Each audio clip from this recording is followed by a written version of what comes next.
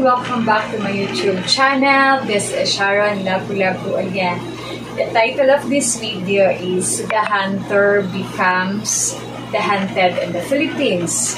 And this video, I wanted to advise everyone who are planning to come here in the Philippines that you don't need online website or date matching parties in various locations online dating is risky and you never really know the person at the end of the line because the girl might be married or chatting many men and playing you for a sucker or fool.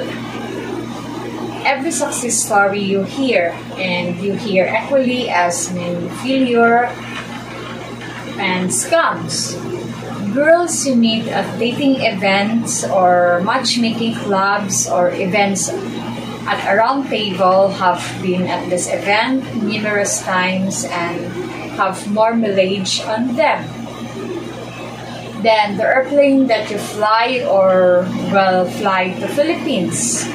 I recommend just come to the Philippines on a leisure vacation and sat down at Jollibee, Starbucks, coffee shop, and leave it to fate.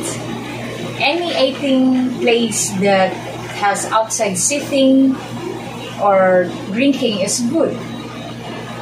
I guarantee you eventually a smile every girl you like that walk by will soon yield some results because they are hunting you you just don't know it or realize it. And finally, if you see another foreigner or expat, chat up with him because perhaps he probably has a girlfriend or who has a single friend or a friend of a friend who is seeking a foreigner for companionship. So you are the hunted, not the hunter as you believe you are. Thank you for subscribing my channel. God bless. Bye.